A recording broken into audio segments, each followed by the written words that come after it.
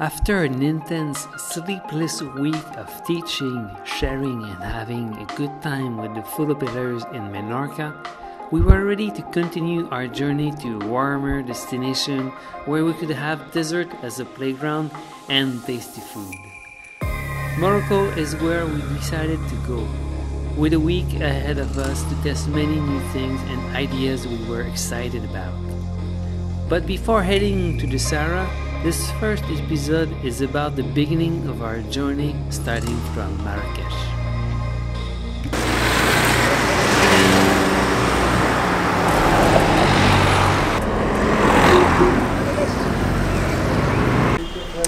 And we just arrived in Morocco. And we are with Cisco. Bonjour Hello. comment ça va? Ça va bien et toi? Est-ce que tu peux nous montrer un petit peu ton environnement de travail? Alors allons-y. Toutes sortes de lampes, des tubes par exemple, tac, hop. Et après plein de lampes que je que j'essaie de, de fabriquer, voilà.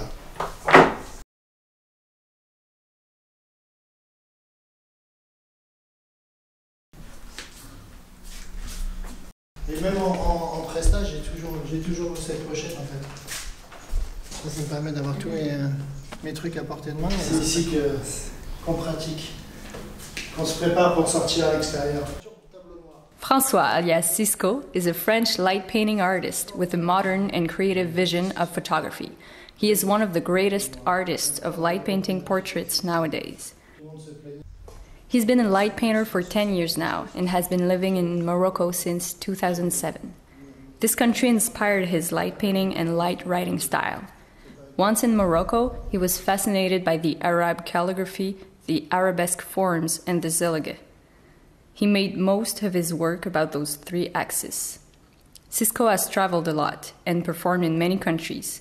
Traveling around the world allowed him to enrich his artistic knowledge and nourish his inspiration, in addition to meeting other light painting artists with different styles. Cisco describes himself as a sculptor of light who seeks the means to clay it and give it a soul by spreading it around a subject.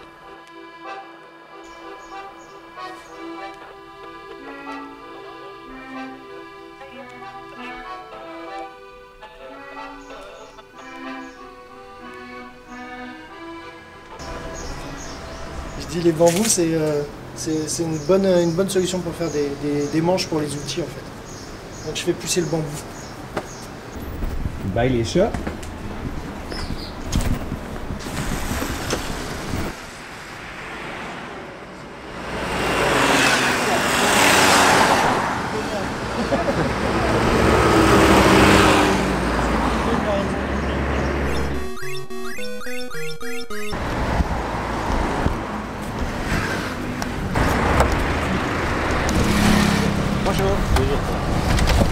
À bientôt. on se revoit dans quelques jours. Je vous dis, euh, je vous dis quand je descends.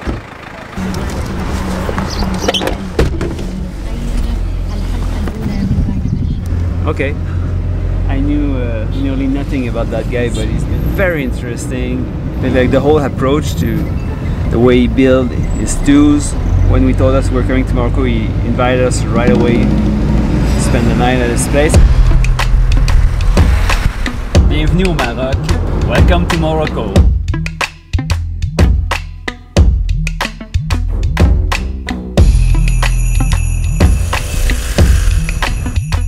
So yeah, now we're out of the city and we're on the way to Ouarzazate, but we'll probably stop before that.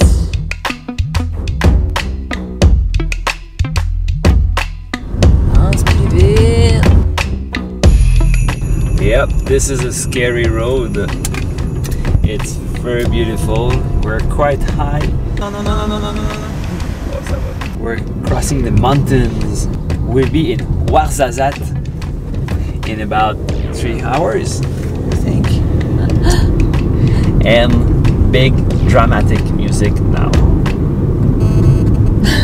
For our first stop, we might do light painting, but we're not sure. Depending on what time we're going to arrive. The priority for tonight is to be able to eat something Moroccan food.